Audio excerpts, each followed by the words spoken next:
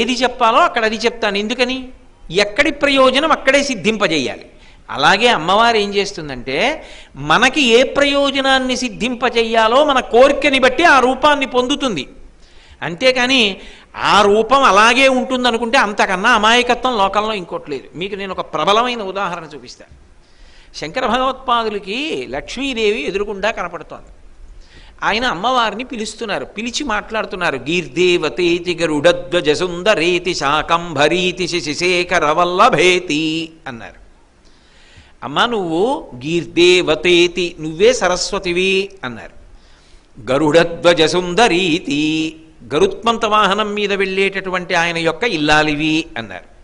గరుడధ్వజ సుందరీతి శాకంభరీతి ఒంటి నిండా కూరగాయలు తగిలించుకుని పళ్ళు తగిలించుకుని నువ్వు శతాక్షి అన్న పేరుతో అనేకమైన నేత్రములతో నీటిధారలు కురిపిస్తూ ప్రజలని ఒకనాడు కాయగూరలు అన్నమిచ్చి ఆదుకున్నదానివి నువ్వే. శాకంభరీతి శశిశేఖర వల్లభేతి పరమశివుని యొక్క ఇల్లాలివి నువ్వే. ఈ మాట శంకరాచార్యులు వారంటే అవ్వా అవ్వా అవ్వా అవ్వా నేను సరస్వతినా నేను లక్ష్మినా నేను పార్వతినా పార్వతి అంటే పరమశివుడి ఇల్లాలు. శశిశేఖర వల్ల భేతి నాకు ఎలా అన్వయం? శంకర తప్పు ఇలా మాట్లాడకూడదు అని వెళ్ళిపోవాలి లక్ష్మీదేవి. ఆవిడ ఏం చేసింది? ద్రవిణాంబుధార కనకధార కురిపించింది.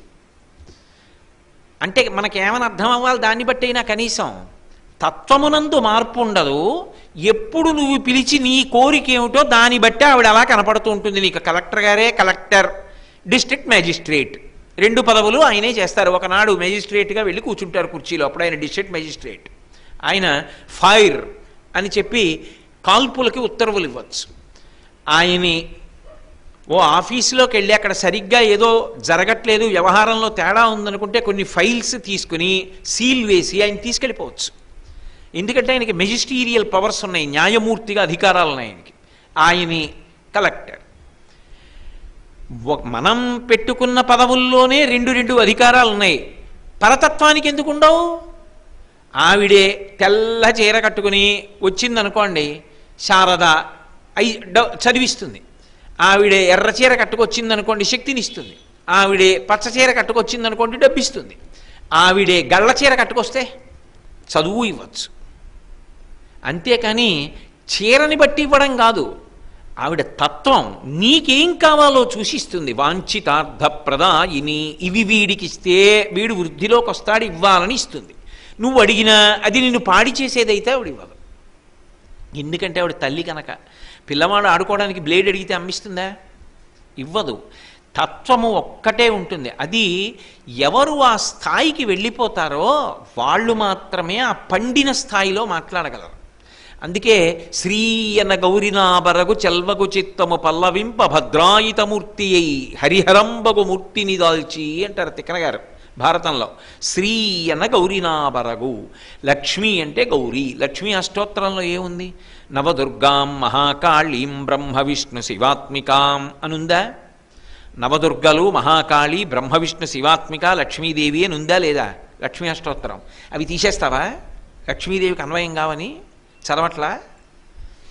కాబట్టి తత్వం ఒక్కటే ఉంటుంది. ఆ ఉన్న తత్వము మన యొక్క వాంఛితార్థమును అనుగ్రహించడ అనుగ్రహించేటప్పుడు అది మీ కోరిక ఏమి అన్నదాన్ని బట్టి ఆ పేరు అలా ఉంది అని మనకి అన్వయం. మీరు అలా ఆ పేరుతో పిలవనంత మాత్రం చేత అది ఇవ్వదని మీరు అనుకోకూడదు. మీకు నేను ఉదాహరణ చెప్తాను. రామకృష్ణ పరమహంస ఓ మాట అంటుండేవారు. ఓ చెరువు ఉంది ఒక ఊళ్ళో. దానికి నాలుగు గట్లు ఉన్నాయి. చెరువు అంటే నాలుగు గట్లు ఉండవండి? నాలుగు గట్లు ఉన్నాయి. ఒకడు అటువైపు నుంచి తిరిగి మంచినీళ్ళు తాగి అమ్మాయ్యా ఐ కుడ్ సెక్యూర్ వాటర్ నీళ్ళు దొరికాయి అన్నాడు.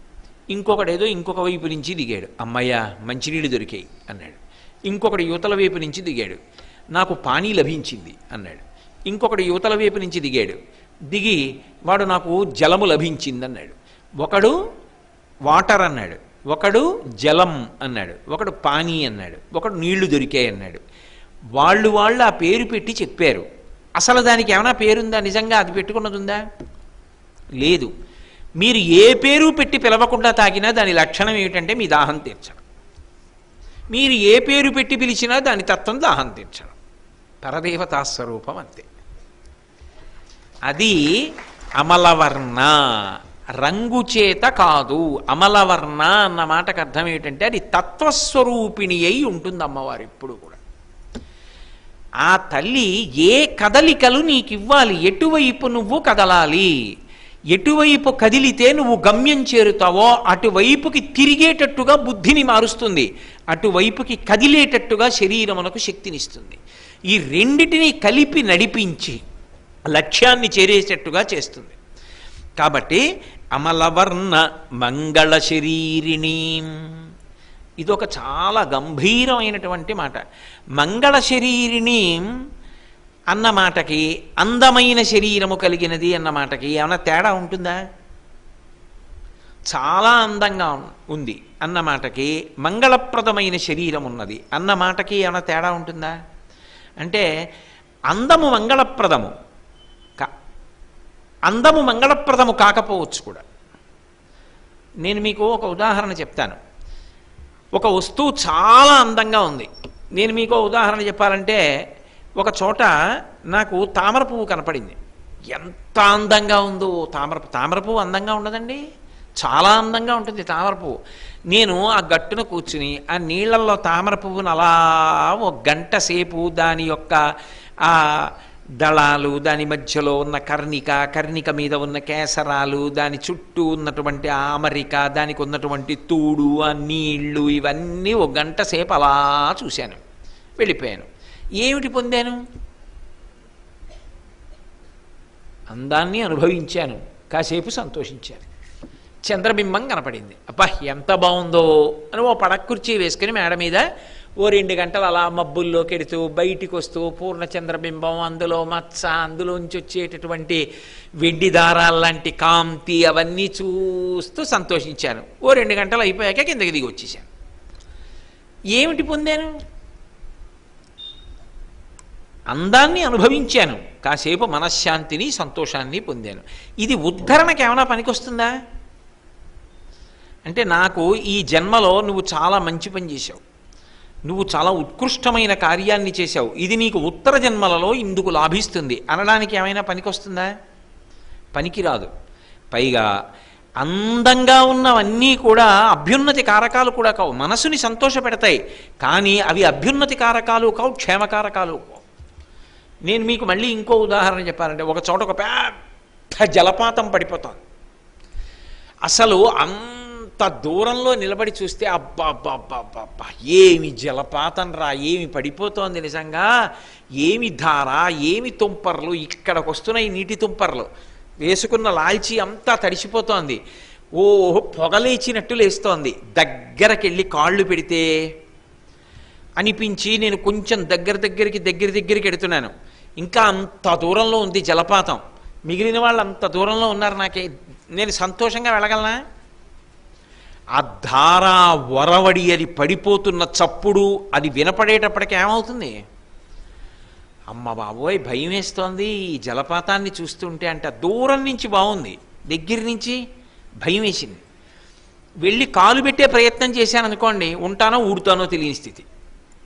అవునా కాదా? ఓ పెద్ద పులు ఉందనుకోండి మీరు పెద్ద పుల్ని చూస్తుంటే ఎంత అందంగా ఉంటుంది అందులో తెల్ల పులు అనుకోండి ఇంకా అందంగా ఉంటుంది. ఆ తెల్లపులి తిరుగుతోందని ఏదో అది మన వైపుకి తిరిగి గాండ్రిస్తుంటే దాన్ని ఓ ఛాయాచిత్రం తీద్దామనో ఏదో ప్రయత్నం చేశాను అనుకోండి అప్పటి వరకు బాగుంటుంది. కాలు జారి అది ఉన్న చోట కింద పడ్డాను అనుకోండి ఏమవుతుంది? అది అలా చూడడానికి బాగుంటుంది. కానీ అది క్షేమకరమా దగ్గరికి వెళ్ళడానికి? ఓసారి ముట్టుకుందామంటే క్షేమకరమా? ఒక నాగుపాం పడగ విప్పి ఆడుతోంది చాలా అందంగా ఉంటుంది. వీళ్ళొక్కసారి ముట్టుకుందాం దగ్గరికి వెళ్ళి అలా చూద్దాం ఆడడం అంటే క్షేమకరమా? అందము క్షేమకరము కాదు. సౌందర్యము మంగళకరము క్షేమకరము. అందుకే సౌందర్య లహరి అంటారు శంకరాచార్యులు వారు. లహరి అన్న మాటకు అర్థం ఏమిటంటే మీరు దిగి బయటికి రాలేరు. దానికి లహరి అని పేరు. చెరువు అనుకోండి మీరు దిగి స్నానం చేసి పైకి వచ్చేస్తారు మిమ్మల్ని గంగ ఒడ్డుకి తీసుకెళ్ళి నేను కాశీలో స్నానం చేయండి అన్నాను అనుకోండి. మిమ్మల్ని ఎందుకు తీసుకొచ్చానో తెలుసా? గంగా స్నానానికి తీసుకొచ్చాను. ఎందుకు వచ్చారు? అని అడిగాను. గంగా స్నానానికి వచ్చాం. సంకల్పం చెప్పుకుని గంగలో దిగారు. స్నానం చేసేసి వచ్చేస్తారా? ఒక్కడు రాడు. తీర్థయాత్రలకు వెళ్ళినప్పుడు ఎన్ని మాటలు మైకులో చెప్పవలసి వచ్చేది? అయ్యా రండి ఇంకా స్నానం చాలని. ఎందుకని? ఒకసారి దిగాక స్నానం చేసి పైకెక్కుదామని ఉండదు. కాసేపు కూర్చునేవాడు కాసేపు అందులో ఆడుకునేవాడు కాసేపు కాళ్ళు తే తేలేసేవాడు వచ్చి ఈత కొట్టేవాడు. అందులోకి దిగిన తర్వాత అందులో ఉండాలని అందులోనే ఆడుకోవాలని అందులోనే అలా తేలాలని ఒక అనుభూతి కలుగుతుంది. అమ్మ అన్న మాటకున్నటువంటి లక్షణం అది. అమ్మతనం క్షేమకరం అమ్మతనం భద్రతతో కూడుకున్నటువంటి విశేషం. అమ్మవారి శరీరం ఉందనుకోండి అది అందము అని చెప్పడానికి కాదు. అమ్మవారి పాదాలకున్నటువంటి గోళ్ళని మీరు అలా ధ్యానం చేశారనుకోండి మనసులో భావన చేశారు. ఎదురుగుండానన్నా చూస్తున్నారు మనసులోనన్నా చూస్తున్నారు. అవి ఉద్ధరణ హేతువులు. అవి బంధన హేతువులు కావు. ఒక్కొక్కచో అలా మీరు బయట ఎక్కడైనా చూస్తే అది మనసులో ముద్రపడిపోయి బంధనమునకు కారణం కావచ్చు. కానీ అమ్మ అన్న భావన చేత అది ఉద్ధరణ హేతు అవుతుంది. ఎందుకో తెలుసా? అమ్మ అన్న మాటకి అందంతో సంబంధం లేదు. ఇది ఈ సిద్ధాంతం మీరు బాగా పట్టుకుంటేనే మీకు మంగళ రూపిణి అన్న మాటకు అర్థం తెలుస్తుంది. మంగళ రూపిణి అన్న మాటకు అర్థం ఏంటంటే ప్రేమ చేత అందం అందం చేత ఆనందం కాదు. అందం వలన మనసు కాసేపు రంజిల్లడం కాదు. ప్రేమ చేత ఆనందం పొందడం. మీకు నేను ఒక విషయం చెప్తే మీరు దాన్ని బాగా పట్టుకుంటారు. చంద్రశేఖరేంద్ర సరస్వతి మహాస్వామి వారు ఉంటారు. మీరు ఎప్పుడైనా ఆయన వృద్ధులైపోయిన తర్వాత ఆయన పకపక నవ్విన చిత్రం చూస్తే మీకు ఆయన పళ్ళు ఒక్కొక్క పంటికి పంటికి మధ్యలో ఇంతంత దూరం కొన్ని పళ్ళు ఊడిపోయి పరమ వృద్ధులైపోయి ఆ విభూతి రేఖలు కూడా మూడు కనపడవు. ఏదో ఇలా విభూతి అద్దేసుకున్నట్టు ఇంత కుంకంబొట్టు పెట్టుకుని ఆ కట్టుకున్న ఏకవస్త్రం కూడా తల మీద కొంచెం ఇలా మధ్యకి వెళ్ళిపోయి ఆ సత్యదండం పట్టుకుని ఈ ఉరప్పంజరం ఎముకలు లెక్క పెట్టచ్చు. అలా బయటికి వచ్చేసి బక్క చిక్కిపోయి ఇంత సన్నటి కాళ్ళు ఆ మోకాళ్ళు ఇంతింత మోకాళ్ళు. ఆ మోకాళ్ళు ముడతలు పడిపోయి ఆ పాదాలు ఆ వేళ్ళు ఉంటారు. ఇప్పుడు ఆయన్ని అలా చూశారనుకోండి మీకు అలా చూడాలనిపిస్తుంది. అది అందమా? ఆయనకి ప్రపంచమంతటా పట్ల ఉన్నటువంటి ప్రేమ వీళ్ళను ఉద్ధరించాలని ఆయన చేసిన ప్రయత్నాల వల్ల మీరు ఆయన్ని కన్నార్పకుండా అలా చూస్తున్నారా? మహాపురుషుల ఎందు ప్రేమ అందముగా అభివ్యక్తమవుతుంది. వారిలో ఉన్న ప్రేమ వారి అందం. అది కాలగతి ఎందు నశించేది కాదు. ఆయనకి డెబ్భై ఏళ్ళు వచ్చేసాయా అరవై ఏళ్ళు వచ్చేసాయా ఆ ఆకర్షణ పోదు. ఎందువల్ల పోదో తెలిసారి అది పైగా దినదిన ప్రవర్ధమానమవుతుంది. ఎందువల్ల అంటే ఆయన ఎప్పుడు నేను ఎంతమందిని ఉద్ధరించగలను నేను ఎంతమందికి ఉపకారం చేయగలనని ఆలోచిస్తూ ఉంటాడు. అలా ఎంతో ఎంతమందికి ఉపకారం చేస్తాడో ఆ భావన ఉంటుందో ఆ ప్రేమ పైకి అభివ్యక్తమై కార్యరూపాల్ని పొందుతున్న నాడు ఆయన యొక్క శరీరము దీప్తిని పొందుతుంది. ఆ ఫోటోలు ఇంట్లో పెట్టుకుంటారు తప్ప అందము అన్నది మంగళప్రదం అనుకోండి. జ్వరం వస్తే అందం ఏమవుతుంది? ఏమైనట్టు అందం? జ్వరం వచ్చిందనుకోండి చూస్తే భయం వేసినట్లు అయిపోతారు. నాలుగు రోజులు అన్నం తినకపోతే.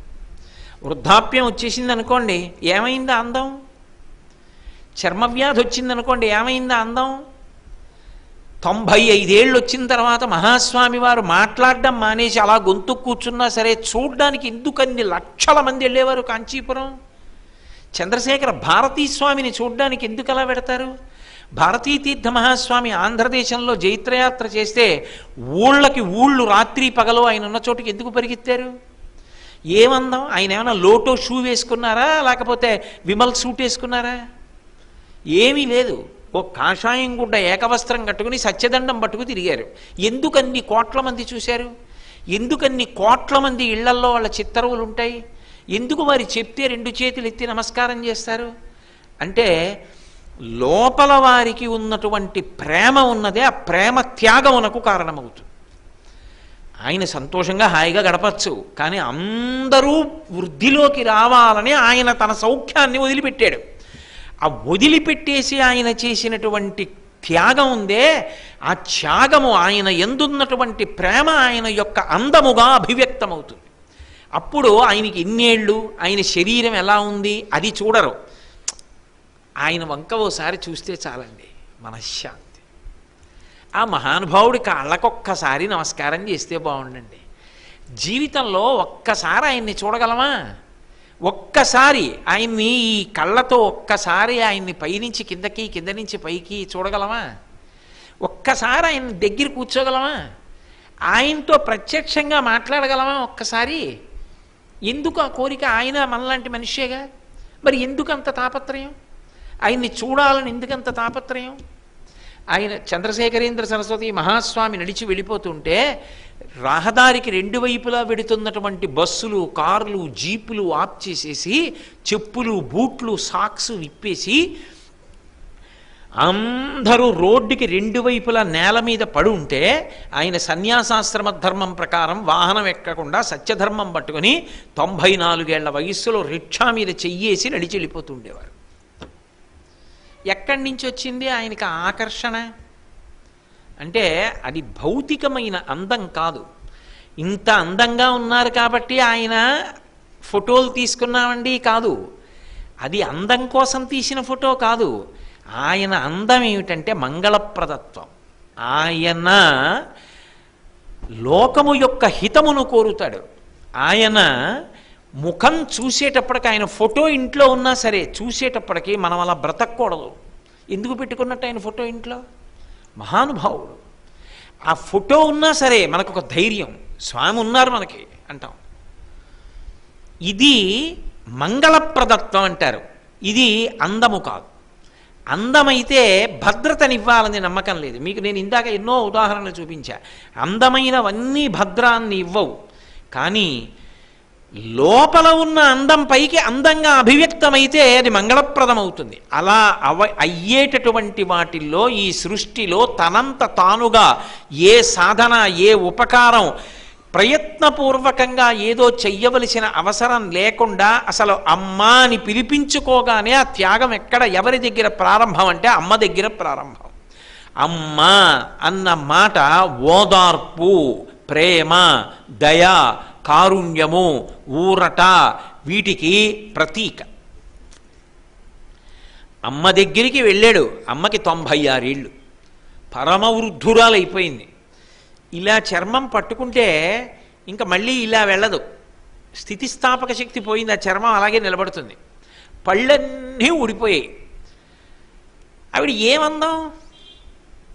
ఆయనకి ఆశీర్వచనం చేయడానికి దేశం అంతటా పిలవాలే కానీ పుట్టినరోజుని ఆశీర్వచనం చేయడానికి కొన్ని వందల మంది బారులు తీరుతారు. ఆయన వెళ్ళక్కర్లేదు ఆయన ఇంతమందిని వదిలిపెట్టి ఒక నిమిషం కాల ఆయనకి ఖాళీ లేకుండా ఆయన్ని కలవడానికి విదేశాల నుంచి ఎందరో వచ్చి ఎదురు చూస్తున్నా దేశాధినేతలే ఉన్నా రేపు ఒక్కరోజు మాత్రం ఢిల్లీలో వద్దులేండి ఇంకో చోట కలుసుకుందామని వాళ్ళ అమ్మగారి ఊరెళ్ళి అక్కడే ఉండి అక్కడే కలిసి అమ్మకి నమస్కారం పెట్టుకుని వచ్చాడు ఒక ఆయన. ఎందుకు ఆవిడికి నమస్కారం పెట్టడం? ఆవిడ అమ్మ. అమ్మకి అందం ఏమిటి? అమ్మ ప్రేమ అమ్మ అందం. అది ఆవిడ మంగళపరత్వం. అది శంకర భగవత్పాదుల యొక్క మాటలో ఉన్న గాంభీర్యం. అమ్మా ఊరట నీకు ఎన్నేళ్ళు రాని అమ్మ దగ్గరికి వెళ్ళి కూర్చో. అమ్మ దగ్గరికి వెళ్ళి అమ్మ కుర్చీలో కూర్చుంటే అమ్మ దగ్గరికి వెళ్ళి కూర్చుని అమ్మ కాళ్ళకి దగ్గరగా కూర్చుని ఏమీ చెయ్యక్కర్లేదు అలా కూర్చో. ఏం చేస్తుందమ్మా? తను అలా కూర్చోదు.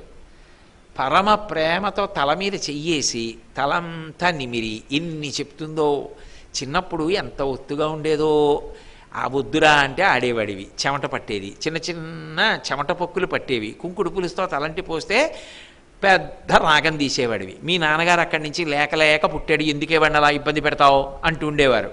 అంత కష్టపడితే ఇప్పుడు చూడు ఆ తల ఎలా తయారైందో అంటుంది. ఆ ఒళ్ళంతా చూస్తుంది. వాడి ఒంటి మీద ఎక్కడో ఓ మచ్చ ఉంది. చిన్నప్పుడు ఎప్పుడో వద్దురా అంటే సపోటా చెట్టు ఎక్కి దాని మించి కింద పడ్డాడు. ఆ సపోటా చెట్టు మించి కింద పడుతున్నప్పుడు చీరిగిపోయింది ఒక కొమ్మ. అది ఇప్పుడు గుర్తు తెచ్చుకుంటుంది. చంద్రబింబం లాంటి ఒళ్ళు. ఆ మచ్చ చూడు వద్దురా అంటే సపోటా చెట్టు ఎక్కావు. అని ఇప్పుడు కళ్ళమ్మటి నీళ్ళు ఎట్టుకుంటుంది ఆ అమ్మ తగులుతోంది అనుకోండి అమ్మ చెయ్యి ముట్టుకున్నారనుకోండి అమ్మ పక్కన కూర్చున్నారనుకోండి అమ్మ అని మాట్లాడుతున్నారు అనుకోండి మీతో అమ్మ బోసినో వేసుకుని తొంభై ఐదేళ్ళ అమ్మ ఏదో మాట్లాడుతోంది అనుకోండి నిజంగా అమ్మ దగ్గర కూర్చున్న ఓ- ఓదార్పు అమ్మ దగ్గర ఉన్నటువంటి ప్రేమ అమ్మ యొక్క ఆశీర్వచనం లోకంలో ఎక్కడైనా ఉంటుందా? పరమ కృతజ్ఞుడు అనుకోండి కొడుకు. పరమ కృతజ్ఞుడు. నేను ప్రత్యక్షంగా చూసా ఓసారి ఓ సన్నివేశం. నేను ఒకప్పుడు డాక్టర్ గారి దగ్గరికి వెళ్ళా ఒంట్లో బాగుండకపోతే. వెళ్తే లోపల ఎవరో ముఖ్యమైన వాళ్ళు ఉన్నారయ్యా ఆయన రాగానే మిమ్మల్ని పంపించేస్తామండి అన్నారు. కూర్చున్నారు. డాక్టర్ దగ్గర ప్రయారిటీస్ ఏమిటి? ఎవరికి రోగం ఎక్కువ ఉందో వాడికి ప్రయారిటీ. డబ్బులున్న వాడికి ప్రయారిటీ డాక్టర్ గారి దగ్గరే. తప్పు కదా? కూర్చున్నాను. అక్కడ కొంతమంది ఆడవాళ్ళు కూర్చున్నారు. ఆ లోపల ఆయన బయటకు వచ్చాడు. డాక్టర్ గారు కూడా బయటకు వచ్చారు ఆయన్ని దిగబెట్టడానికి.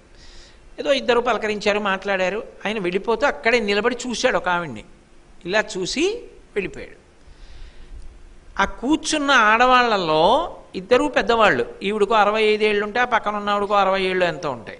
ఆ రెండో ఆవిడంది ఎందుకమ్మా కొడుకు? ఎన్ని నోములు నోచి ఎన్ని వ్రతాలు చేసి నా కొడుకు కొడుకు కొడుకుని కన్నావు.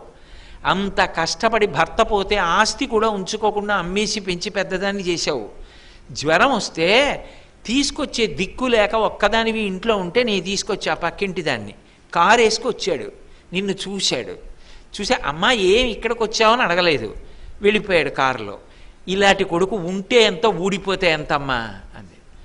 నేను ఆశ్చర్యపోయి ఆవిడ ఏమంటుందని ఆ తల్లి అంది పోన్లే అమ్మా ఎంతకాలం ఉంటాను అలా అనకమ్మా కఠినంగా. ఆ వాడిని అలా బతకని పది కాలాలు. నన్ను చూస్తేనే మంచివాడా? పోన్లే అలా ఉండని. అంది. అది అమ్మ అంటే అందుకే శంకరులు అన్నారు దేవీ క్షమాపనాథ స్తోత్రంలో కుపుత్రోజాయి జాయీ కుమాత నభవతి దుర్మార్గుడైన కొడుకుంటాడేమో దుష్టురాలైన తల్లి లోకంలో ఉండదు. అమ్మ అంటే నోటి దగ్గర తీసేసి కొడుక్కి పెట్టేసి కొడుకు తినేస్తే తానంద ఆనందపడిపోతుంది. అబ్దుల్ కలాం గారు వింగ్స్ ఆఫ్ ఫైర్ అనో పుస్తకం రాశారు. రాసి దానికి ప్రిఫేస్ రాశారు ఉపోద్ఘాతం. రాస్తూ ఆయన ఒక మాట రాసుకున్నారు. చిన్నతనంలో ఆయన రెండో ప్రపంచ యుద్ధం జరుగుతున్న రోజుల్లో చదువుకుంటుండేవారు రామేశ్వరంలో పంతొమ్మిది వందల నలభై రెండు సమయం. ఆ రా- సమయంలో గోధుమలకి రేషంట ఎక్కువ గోధుమలు దొరికేవు కావు. వాళ్ళ అమ్మగారు రొట్టెలు ఇస్తున్నారు రాత్రి. వేస్తుంటే రొట్టెలు కూర బాగున్నాయని కలాం గారు అమ్మ ఇంకా ఉన్నాయా ఇంకా ఉన్నాయా? అని తినేశారు. ఆ తర్వాత కలాం గారు అడగలేదు అమ్మ నీకున్నాయా రొట్టెలు? అని అడగలేదు. కలాం గారి అన్నయ్య వచ్చాడు. ఏరా నీకు బాధ్యతగా ప్రవర్తించడం చేత కాదా? అమ్మ రొట్టెలేసింది బాగున్నాయి బాగున్నాయి అని తినేశావు. అమ్మ తినడానికి రొట్టెలు లేవు. పోనీ తీసుకొద్దామంటే గోధుమలకి రేషను. బయట ప్రపంచ యుద్ధం జరుగుతోంది. కనీసం అమ్మ తిందో లేదో చూసుకోక్కర్లేదా? అడగకుండా తినేశావే అన్నారు. పసి మనస్సు. ఆవిడన్నారు వాడు తింటే నా కడుపు నిండిపోయిందిరా అన్నారు. కలాం గారు రాసుకున్నారు. అమ్మా నువ్వు తినకుండా నేను తింటే చాలని ఒరే నాకు లేవురా రొట్టెలని అనకుండా నేను రొట్టెలు బాగున్నాయని పెంచి నన్ను పెద్ద చేశావు. నువ్వు పెంచి పెద్ద చేసిన ఈ శరీరము మేధస్సు దేశానికి ఎంత ఉపయోగపడాలో అంతా ప్రయత్నం చేశాను. అమ్మ there comes a final day of judgment. అంటే ఒక రోజున భగవంతుడు అంతిమమైన తీర్పు చెప్పే రోజు ఉంటుంది నువ్వు కష్టపడి రొట్టెలు తినకుండా పెట్టి పెంచిన ఈ శరీరం ఒకనాడు నువ్వున్న చోటుకి వస్తుంది. అమ్మా అప్పుడు నీకు పరమ గౌరవంతో మళ్ళీ నీ కాళ్ళకి నమస్కరించే యోగ్యత నిలబడేటట్టుగా బతికేట్టు అనుగ్రహించని రాసుకో